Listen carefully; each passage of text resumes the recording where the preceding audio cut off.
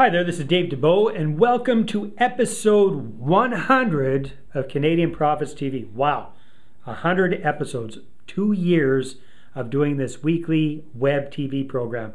It's probably the most consistent I've been about almost anything except for the newsletters over all this time. Hope you're enjoying it. Love to hear any comments you have, any suggestions you have, any feedback you have, what you like, what you don't like about the program. Just scroll down to the bottom. There's a place there where you can leave your comments. Love to hear about it. Give us a shout out for being around for 100 episodes. Love to hear that. Um, so, what are we going to discuss on this 100th episode? Well, for our business breakthrough, I want to talk about something I was reminded about by my friend James Malinchak at the event I went to in December, and that is focusing on creating a client versus making a sale. For our real estate tips, we're going to take another idea from our new friend Melvin Yates, who I talked to you last week about, the gentleman who did 20 wholesale, wholesale deals in 90 days. Well, this week we're going to be talking about focusing on free and clear properties and the ideas he had for that. And for our mindset minute, speaking of contributing writers, we're going to take a, a lesson from our new friend and contributing writer Andrew Barber Starkey about the reality of the 80 20 rule. So stay tuned.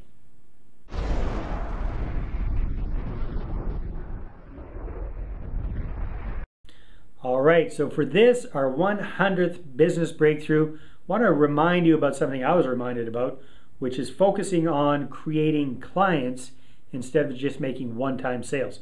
So I was at James Malinchak's Big Money Speaker event, where the, the purpose of the event was showing people, showing speakers how to really crank up their speaking business. And like anything, it is a business. So this applies to speaking, this applies to real estate investing, this is, applies to plumbing, whatever kind of business you're in or thinking about getting involved in. So James reminded me that, uh, reminded us that most speakers focus on getting speaking gigs, speaking engagements. So they, they market, market, market, they get a speaking engagement, they prepare for it, they run out, they do it, okay, great, and then they go after the next speaking engagement. James does it a very, very different way, much more strategically, much more intelligently, and he markets, markets, markets for getting a speaking engagement as well. But he does doesn't just leave it at that. He's got many different techniques and systems in place to turn that one presentation he gives for one client, hopefully into multiple presentations for that same client or for for um, for uh, referrals from that client. So he's got his systems and procedures and policies in place to make that happen on a very consistent basis. Does it happen all the time? No. Does it happen a lot of the time? Yes.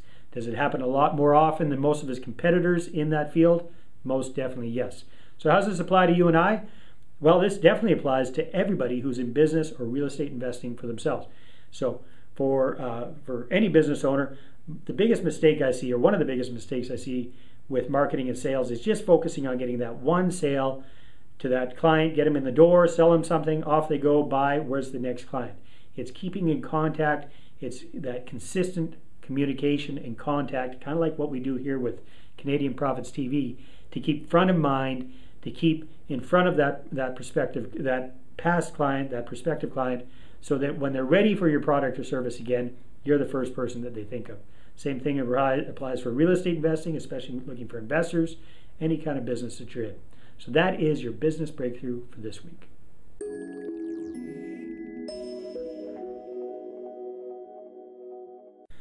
All right, so for this week's real estate tip, we're going to visit again our new friend Melvin Yates from the Washington, D.C. area in the States.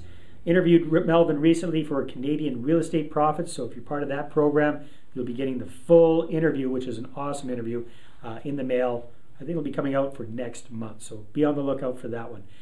And one of the concepts that Melvin talked about and that he's focusing on right now with his real estate business is going after uh, homes that are that are owned free and clear. So in other words, the property owner has no mortgage on the property. So I was talking with Melvin, you know, you hear all of the bad news about the real estate situation in the States and in some cases in Canada and how over leveraged people are, and you know the whole mortgage fiasco and uh, subprime lending and all that kind of stuff. And what Melvin was saying is that I'm trying to remember his quote exactly, but he said close to 30% of all properties in the United States are actually owned free and clear. I'm not sure what the percentage is here in Canada, but I'm going to suspect it's a heck of a lot higher than I thought it was and that you thought it was as well.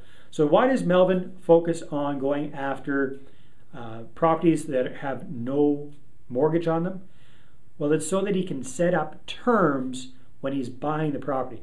So, this is a way that he can go out in the market and actually offer the best price anybody's willing to pay for one of these properties, and he gets the sellers to hold the mortgage for him. So, in other words, he gets seller financing on these properties.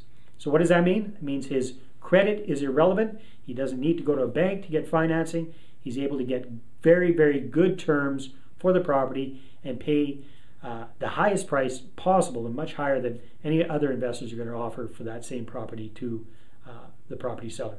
So if you're interested in that, make sure that you listen to that interview. It's a spectacular very, very, very good interview uh, that I did with Melvin Yates. That's your real estate tip for this week.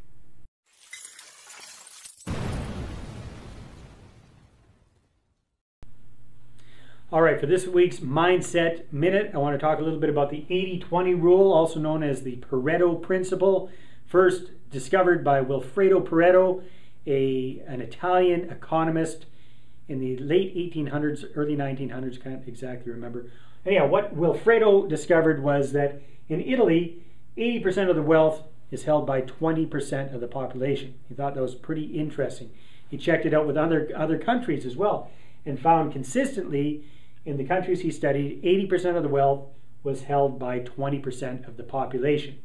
Then he kept looking at things, looking at things, and found that this ratio also worked with many, many other areas of life besides finances as well. So when it comes to us, the 80 20 rule basically says that 80% of our results come from 20% of our efforts. 80 20 rule. Might not be exactly that, might be 90 10, 95 5, 85 15, who knows, but roughly it's around that. A huge portion of our results, our outcomes, come from, relatively speaking, a small percentage of our efforts. Okay, so you've probably heard of that before and I'd heard of it before as well. However, our friend Andrew Barber, Barber Starkey, one of our contributing writers for Canadian Business Profits, also a very an amazing business coach, very well known for being T. Harv Eker's personal coach and who's been coaching for years and has a fantastic system called Pro Coach Systems. Andrew teaches a different twist on this, which I've just learned, which I want to share with you as well. And that is okay, so 80 20. 80% of our results come from 20% of our efforts. So it would, it would uh, make sense that when we focus on doing those 20% efforts, we're actually getting four times the results for our efforts, right? It would also make sense that when we're doing an 80% activity that's getting us 20% of our results, we're actually just getting one quarter of the results, right?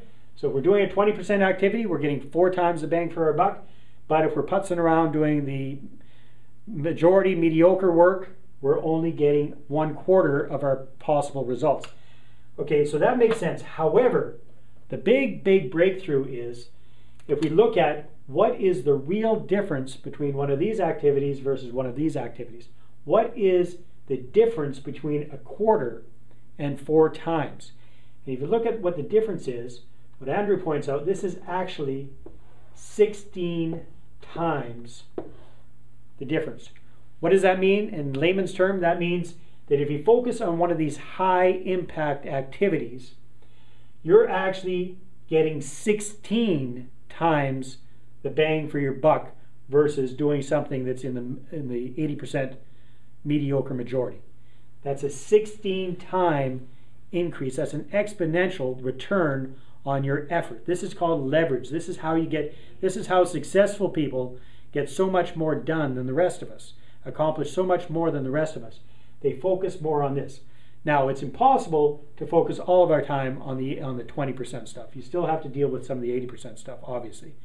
However, my challenge to you and to myself as well, and I talked to my staff about this, is let's just try to bump this 20% time instead of pay, spending 20% of our time on 20% activities, what if we spent 25% of our time on our 20% activities? That's going to make a huge difference in the long run. So that's your Mindset Minute. Take a new look at the 80 20 rule. Decide and figure out what your 20% activities are versus your 80% activities. Focus a little bit more on the 20 percenters because you're going to get 16 times the bang for your buck for doing that. That's your Mindset Minute for this week. Hope you enjoyed it. Take care. All right, thank you very much for tuning in to episode 100 of Canadian Profits TV. Hope you enjoy it. Hope we've got another 100 in us or more, that's for sure, because I enjoy doing these TV blips a lot. Um, what's going on? Well, if you are not a Canadian Profits Diamond member, you're going to be missing out on our upcoming Diamond Getaway, our annual getaway where we have a lot of fun together, go somewhere warm and tropical, learn something, mix and mingle, network, have a blast. This year we're doing something completely different, a Caribbean cruise. You can check that out at diamondcruise.ca. If you're not currently a Canadian Profits Diamond member, you should be, and you can check that all out at canadianprofitsdiamond.ca. Take care, and we'll talk to you next week. Bye bye.